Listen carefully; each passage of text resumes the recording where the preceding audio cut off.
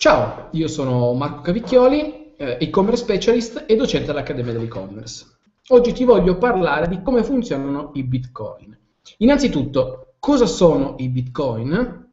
Il bitcoin è una valuta, una moneta virtuale che esiste solo su internet. In poche parole, è denaro contante, quindi ha eh, la validità che ha il denaro che siamo abituati a usare tutti i giorni, come gli euro, come i dollari, però è una valuta che esiste solo su internet. Non ci sono le versioni cartacee o in moneta dei bitcoin, esiste solo e vale solo per le transazioni online.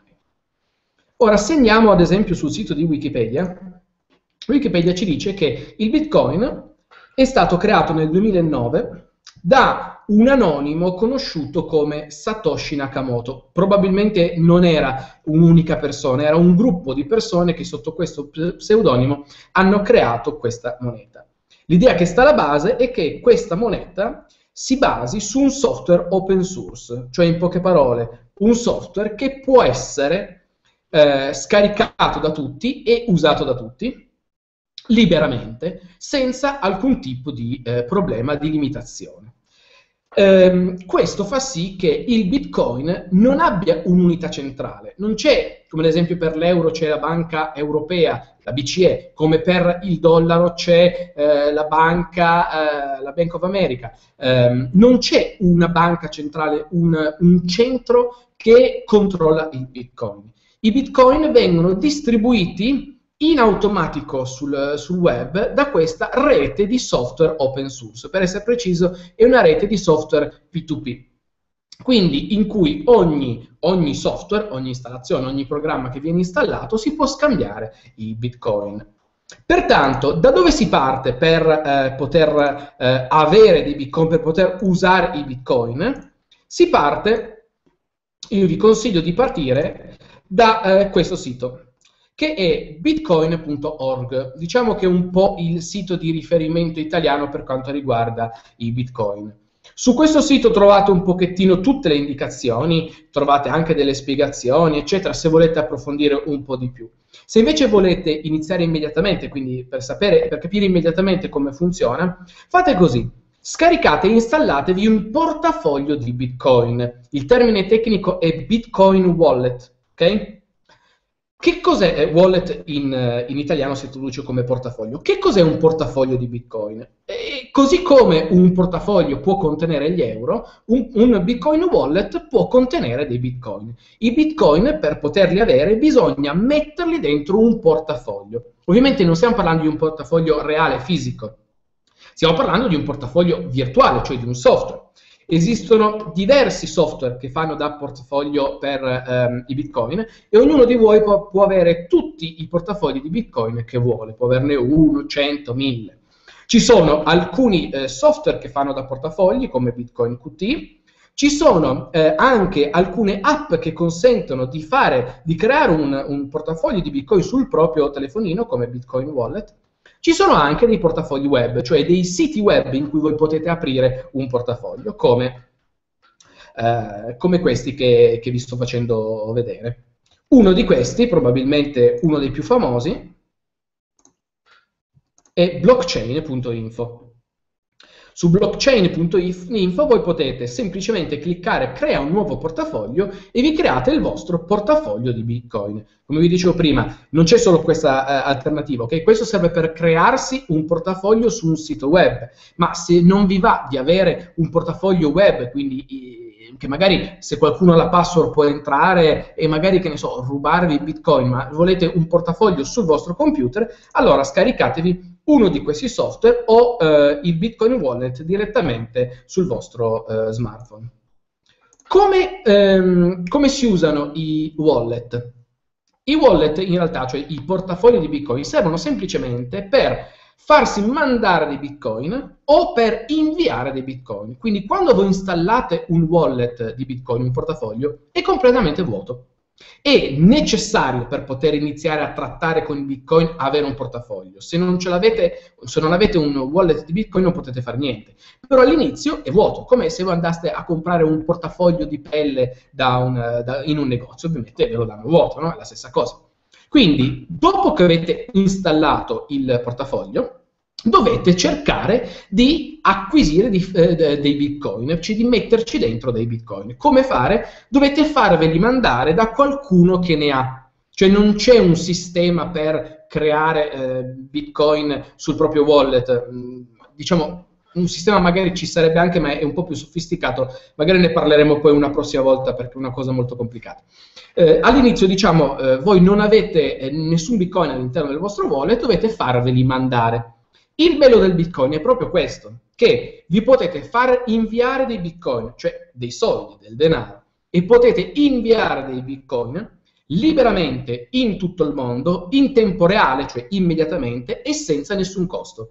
A differenza, che ne so, dei bonifici bancari oppure di PayPal, tutti strumenti eccellenti, ma che hanno dei costi, cioè quando voi fate un bonifico spendete i soldi del bonifico, quando voi ricevete o inviate dei soldi con PayPal, PayPal si trattiene una percentuale.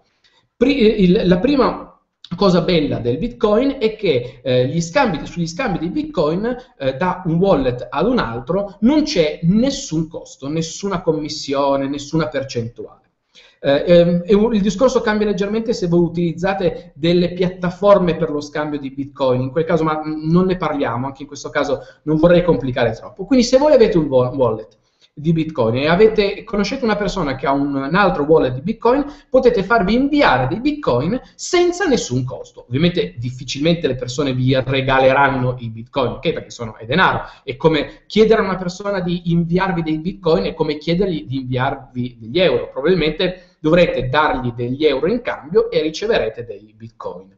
Se volete, se volete sapere qual è il, il valore dei Bitcoin, quindi eh, quanti bitcoin eh, potete farvi manda- mandare con un euro? Fate una cosa, andate su eBay, cercate bitcoin, sappiate che su eBay ci sono delle persone che vendono bitcoin, quindi in poche parole voi potete sapere non solo chi è che vi può inviare i bitcoin, cioè da chi potete comprare i bitcoin, ma eh, vedete anche quanto costano. Ad esempio, eh, questa persona qua vende 0,01 eh, bitcoin a 8 euro. In poche parole, in questo caso, il valore del bitcoin è stimato, in, è calcolato in 800 euro. Un bitcoin vale 800 euro, ok? Secondo quello che vende questa persona. Sappiate che non c'è una quotazione ufficiale dei bitcoin, la quotazione dei bitcoin la fa il mercato, quindi se volete comprare bitcoin la quotazione la fa chi vi vende i bitcoin, mentre invece se volete eh, eh, inviare, vendere bitcoin la quotazione la fa chi vuole, chi vuole comprarli. Ad esempio qua sotto c'è un'altra persona che vende non 0,01 ma 0,1 bitcoin a 70 euro.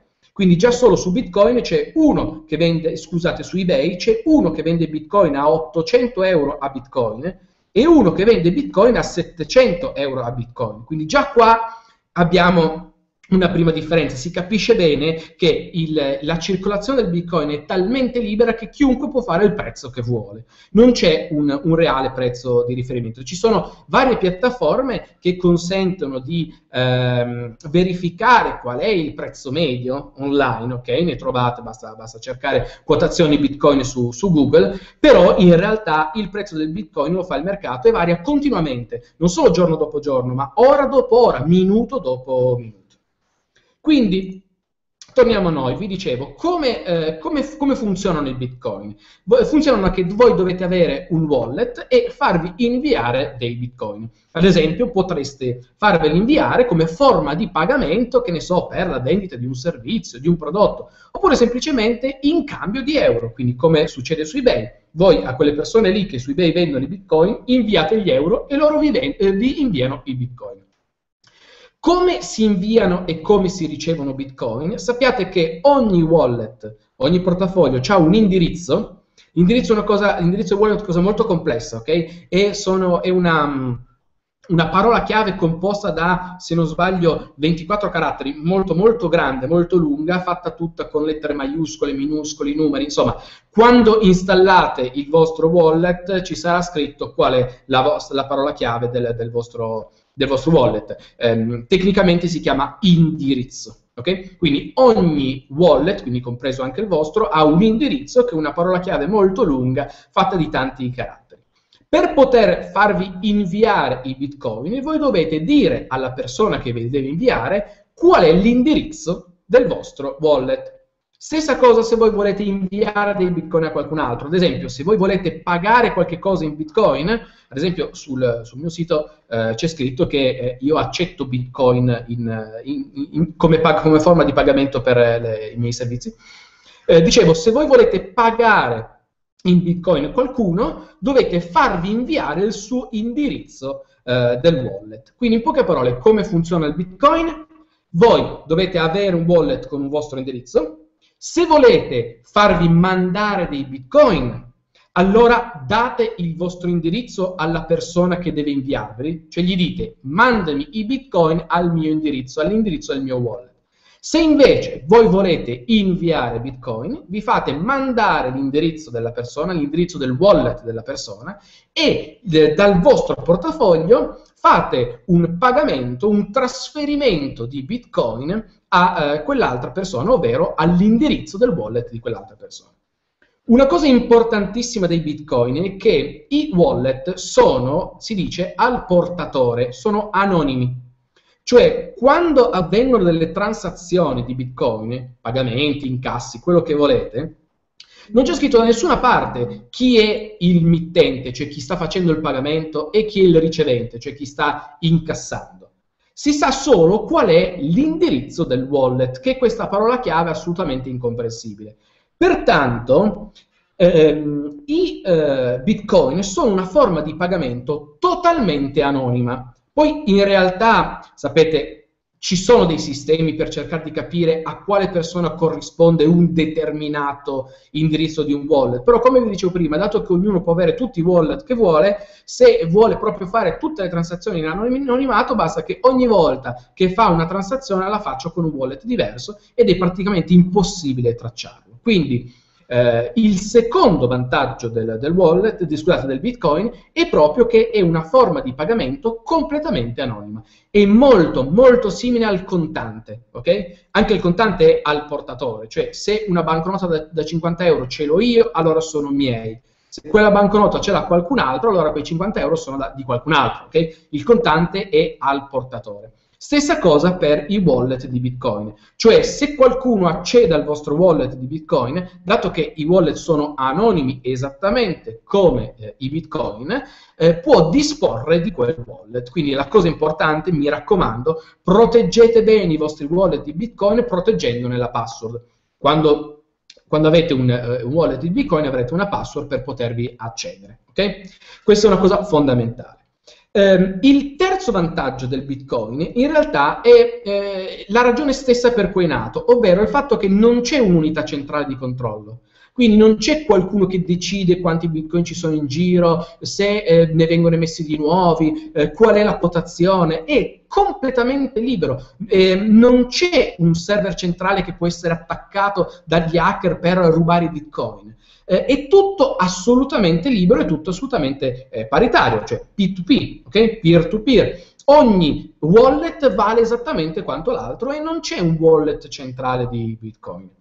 Questo ha l'enorme vantaggio che il prezzo del Bitcoin lo fa solo il mercato, quindi non è possibile in alcun modo condizionare il prezzo del Bitcoin perché il prezzo del Bitcoin lo fa il mercato. Come abbiamo visto prima, addirittura su eBay c'erano due persone che lo vendevano a prezzo diverso, 700 euro, 800 euro.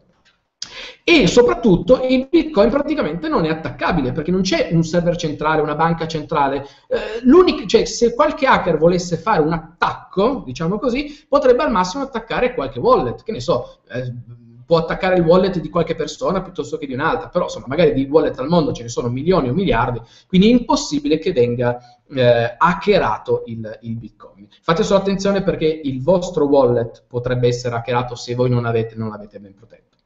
Quindi se avete un wallet Bitcoin potete ricevere o inviare denaro. Sappiate solo che non esistono ancora al mondo molti esercizi commerciali, molti negozi, molti e-commerce che accettano Bitcoin. Quindi per ora, prima di usarli, informatevi bene se li potete usare oppure no. Per qualsiasi altro dubbio o domande, eh, visitate il mio sito e scrivetemi, mandate un'email, tanto io rispondo sempre a tutti. Ciao!